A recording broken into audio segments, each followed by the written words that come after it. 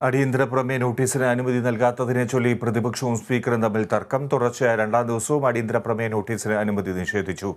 അവകാശം ഹനിക്കുന്നുവെന്ന് പ്രതിപക്ഷം ചട്ടപ്രകാരമുള്ള നടപടിയെന്ന് സ്പീക്കർ.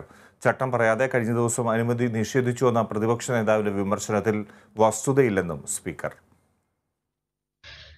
ചോദ്യോത്തരവേളയിൽ വിശദമായി ചർച്ച ചെയ്തതും ഹൈക്കോടതി തിങ്കളാഴ്ച കേസ് പരിഗണിക്കുന്നതും ചൂണ്ടിക്കാട്ടിയാണ്.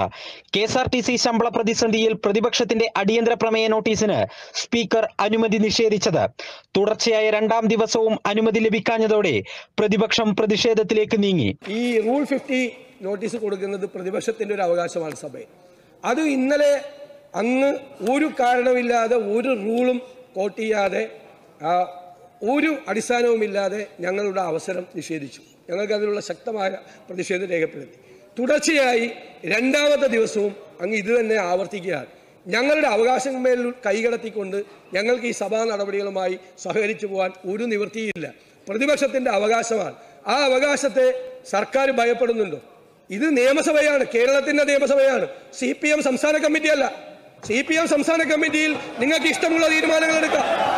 ഇത് സംസ്ഥാന നിയമസഭയാണ് പിന്നാലെ കഴിഞ്ഞ ദിവസത്തെ അനുമതി നിഷേധത്തിൽ പ്രതിപക്ഷ നേതാവിന്റെ ആരോപണത്തിന് വിമർശന രൂപേണയുള്ള സ്പീക്കറുടെ മറുപടി. ഞാൻ fifty two clause three quote ചെയ്തിരുന്നു. ബഹുമാനപ്പെട്ട പ്രതിപക്ഷ നേതാവ് കേൾക്കാത്തതുകൊണ്ടാണ്. ഒരു ഒരു മുതിർന്ന അങ്ങേപ്പോലെ ഒരു മുതിർന്ന സാമാജികൻ മാധ്യമങ്ങളിലൂടെ കാര്യങ്ങൾ പറയുമ്പം കുറച്ചുകൂടി വസ്തുതകൾ പരിശോധിക്കണമെന്നായിരുന്നു ചെയറിന്റെ അഭിപ്രായം.